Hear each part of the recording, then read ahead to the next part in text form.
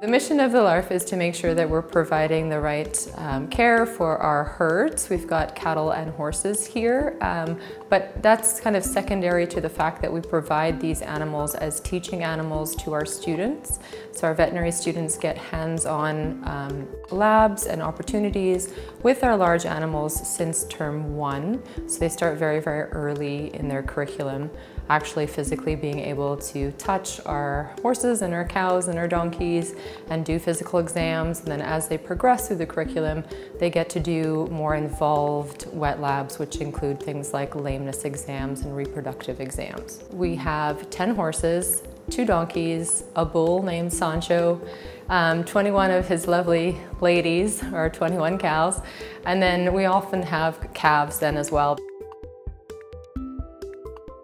Students get to start off, as I said, in term one with physical exam labs, which is very important because most of our veterinary students come to St. George's with minimal large animal backgrounds.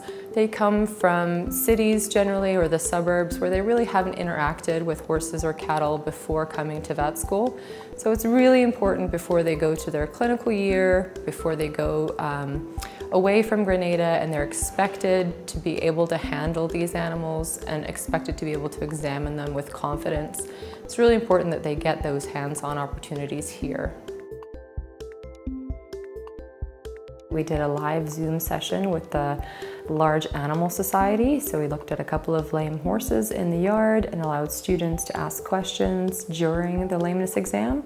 We will also be doing physical examinations on our cows and horses in a live Zoom format, again letting students answer and ask questions during it. Um, and we also have had a handful of our sixth term students remain on island and we've given them the opportunity to come to the LARF and complete their uh, clinical skills training for the SAMS 528 course. And that way there's been two students at a time, so we're still sticking with the COVID protocols and they've gotten their hands-on training. Even with students that have had no large animal experience, um, they generally have a very good time at the LARF. They're usually quite surprised by how much they enjoy these labs with the cattle and with the horses. And that's important because then you get them thinking about potentially getting into either mixed animal practice or large animal practice when they graduate. And in North America in particular, we do actually suffer from a shortage of large animal veterinarians. So if we can um, interest a few more veterinarians into going that route, then we've done a good job.